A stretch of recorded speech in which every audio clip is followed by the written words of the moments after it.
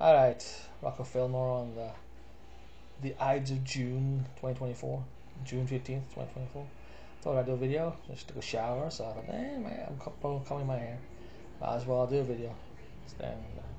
I could get my guitar. See my guitar there. I love when people do those videos where they got the guitar in the back and they don't even play the thing. You know, I play the thing. I write songs on that thing. But these people, who, you just don't ever see them play, but they got put it in the background. Why? I don't know.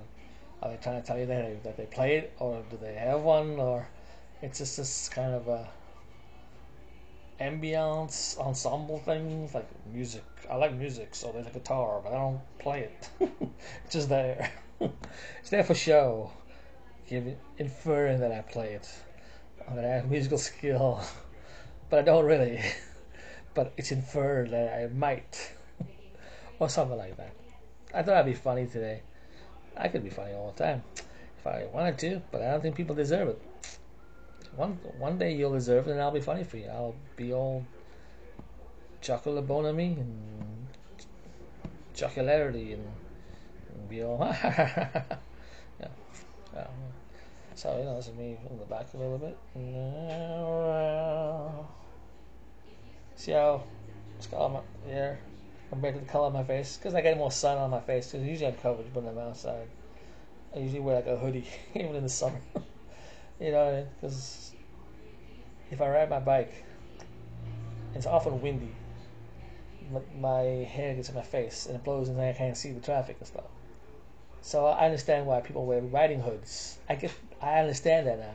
It's to cover your hair, to keep it from blowing in your face. I didn't. So I ride my hoodie. I wear my hoodie like it's a riding hood. So like little red riding hood. but I get the idea of the hood. It covers, yeah, covers your hair. It keeps it from blowing in your face, so you can see. See, I don't need that. But yeah, so yeah, see, yeah, skin's a lot lighter. Um, yeah, there it is. Here, see how different it is. It's a little. Because I tan really quickly because of my Italian Mediterranean blood. I'm also British descent and Dutch, so. But they usually the Italian, the Mediterranean is a stronger force in the gene, in the DNA. So yeah, but which is good because if you're in the sun, you don't want to burn. You want to tan. You want the skin to protect you. So there you go. It's very good. So, so you can see uh, get out in the sun. It's warm. It's you know, been like around in, in, the 80s mostly. So, but I'm always, yeah, in the sun, you know, a few hours a day, maybe I like to bike ride, and exercise that way. But then I try to cover. Like I said, I wear the hood. But yeah, I thought I'd do like a longer vid because I haven't done these talking vids for a while. I did one like about a week ago, but I was like I used to do them all the time. But now I got to do my 240 because I used to do them like at like 480 or 720, and it's it takes up more space on the in my memory in the memory thing. And I got thousands of vids in there, so I'm, you know, and you someone will be like, well, why don't you buy more RAM? Why don't you buy more memory so you can? I'm like I don't know. I'm not that computer savvy, man. I'm not a nerd. I'm smart, so I can figure out how to use. You know, everything I know about computers, I figured out myself. So everything I do on the computers, I figured it out but there's only a limit to my ingenuity as an intelligent person of common sense. I don't know all that really, really deep, nerdy stuff, you know. So, you know, I'll install RAM and mm, you know other nerdy stuff. I mean, yeah. Just because I like Star Trek doesn't mean I'm a nerd. well, I, uh, the reason why I like Star Trek is because in South Africa, when I was a kid, there wasn't that many shows on it. We only had like one TV station, and the TV only broadcast for a certain number of hours a night, and Star Trek was one of the shows that was on, so that's why I got to love Star Trek. There's a show called Galactica, the original one, and Buck Rogers, so that's why I like that. And also, I like certain, like Thundercats and in He-Man, because I grew up with that in the 80s. I was a kid, so it's not like I'm a grown up who likes Pokemon or something. I didn't start liking the stuff when I was an, an adult. You know, that's different. That's a nerdy kind of thing. You know, like weird nerdy stuff when you're an adult and you play video games. See, I don't do that anymore. I, I played video games when, when I was a kid. I remember when I got a PlayStation. what like 25 years ago, when, around 2000, when the first one came out.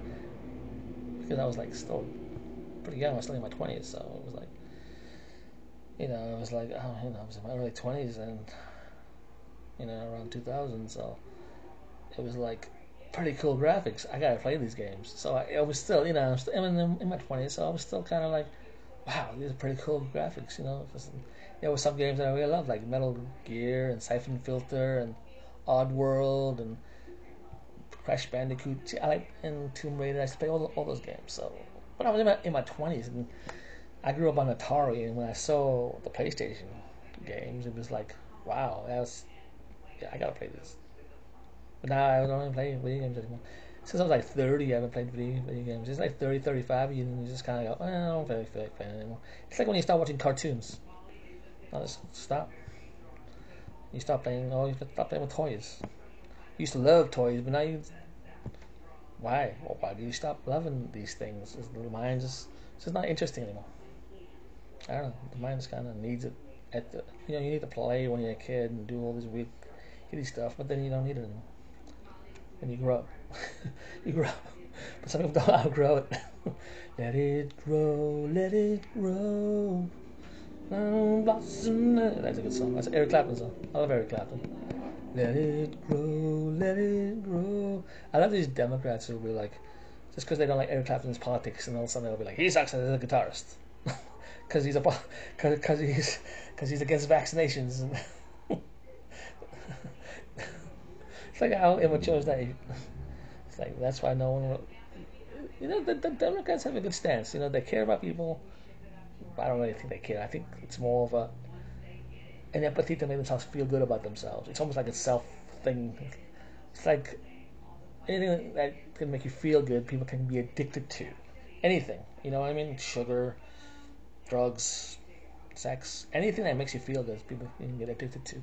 And I think these Democrats are addicted to empathy. It's an empathy addiction, that kind of good feeling you get from liking people or being good to people or being you know you get you do good deeds and so you get that kind of good feeling. It's almost like a drug. I think that's what it is. It's not that they, they're doing it for these other people they're doing it for themselves to feel that kind of feeling. They want that feeling. They're addicted to that feeling. That's why i think. That's why that's why no one really believes democrats are genuine it's not like a genuine goodness. That's why they don't sell it because they they're at a good selling point. Yeah, be good to people and help people, but they're not really trying to want to help people. They want to help themselves by helping people. That gives them that kind of good feeling that they're addicted to, and the kind of sense obsessive compulsiveness and want that feeling.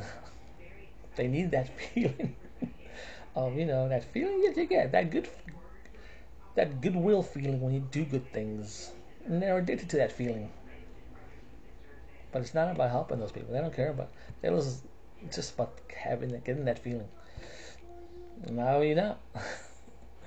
it's true though. See, how do I know? Because I just, I'm kind of commonsensical. Hmm.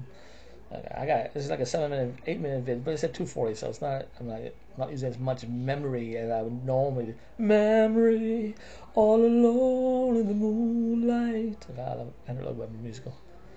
Uh, I love his musicals, especially cats and dogs. cats and dogs.